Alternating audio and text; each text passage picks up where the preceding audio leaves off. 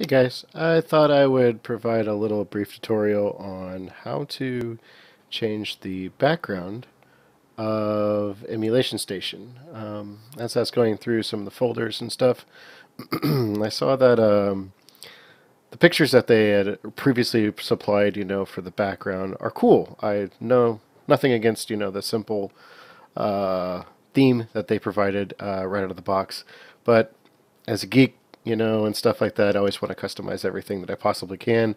And so went rummaging around and found out that it was pretty easy to actually change the backgrounds of um, the different pictures that were uh, in the emulation station.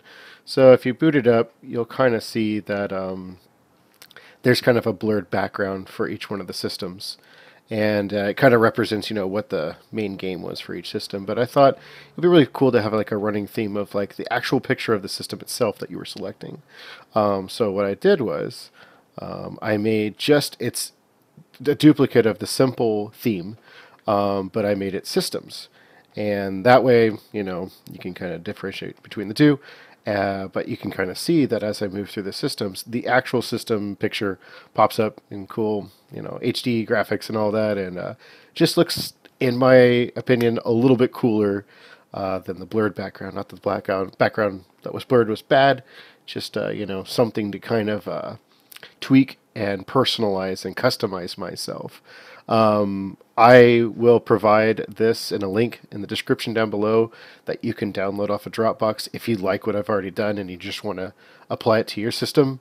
It's really easy to do. You just drop it in the themes folder and then you'll have an additional theme to select in here.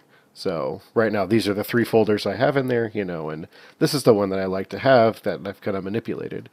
And so each one of these I just kind of went on the internet, selected a background that I thought was kind of cool, uh, and applied it to it. And I'll show you guys just real quick how you can do that so you can kind of um, do that on your own.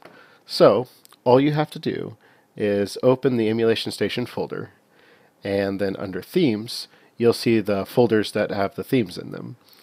Um, I duplicated the simple one. I'm just eating off of what they've already done, all their hard work. And um, I've changed only the systems that uh, apply to me. So I, if you go into the different Atari ones other than the 7800, they're still going to have the blurred backgrounds. Uh, you can kind of see right here, this is the blurred background that they use. But if you go into something like uh, the GameCube, I've manipulated this one. So uh, you take a look, and this is the actual background I'm using as opposed to the blurred one that was the original default one. Um, just to kind of give you a little bit of a background on what's actually going on here. If you take a look at the XML file for each one of the art themes, you'll see that it's um, looking for the blurred uh, JPEG, which is just right here. So you can't name it whatever you want to. You have to name it what the naming convention is in this XML file. So if you ever want to know or you delete the file on accident and you want to replace it again, just go back to here in each of the themes XML file, you'll see what the artwork is looking for, you know, so, uh, but it has to be named this. So all I do is I go online, I find a picture that I want. Um, I renamed the default one here to GC underscore art underscore blur default, just so that way I didn't lose it in case I ever want to put it back to its original. And then I renamed mine the true name that's listed in the XML file for example, this is the GameCube one.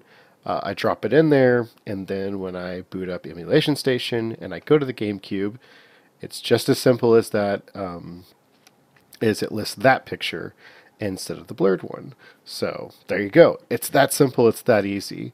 Um, I made it a separate, you know, uh, theme, so that way, if I ever do want to go back to the simple one, say that I've done something here that actually messes up other things that's dependent on it, I can always go back to the default settings.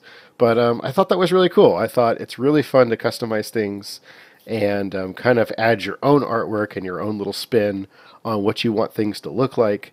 And so, um, as you use the system, as you use, use Emulation Station, you can kind of see a little bit of what you think you might just like to see in the back. And definitely, this is more of like an XBMC feel where um, each one of the categories kind of represents in the background what that is. You know, for XBMC, you see movies, and you'll see a movie theater with screen and all that, and then music has a disc and you know uh, music notes that kind of represent the um, uh, the, the thing that you're selecting. So I thought this kind of matched that just a little bit, but it was really fun to go online, find the pictures that I wanted to find, put them on here, you know, and just customize it a little bit.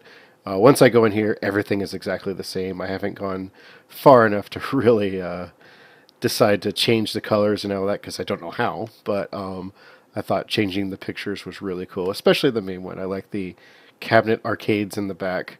You know, it's definitely kind of pokes at exactly what MAME is and what it does is multi-cabinet uh, emulator. And same thing with the Genesis. It was fun to see, you know, the actual picture uh, and kind of nostalgic because that's all this really is, is is the nostalgia of all the retro games, you know. And so you get to pull out some really cool, fun artwork and kind of be creative with it and everything. So uh, yeah, if you liked these pictures what you saw in that folder is exactly what I've provided in the description below. Just try, download off a Dropbox, throw it into your systems or themes folder, and then um, you can select this one if you want to.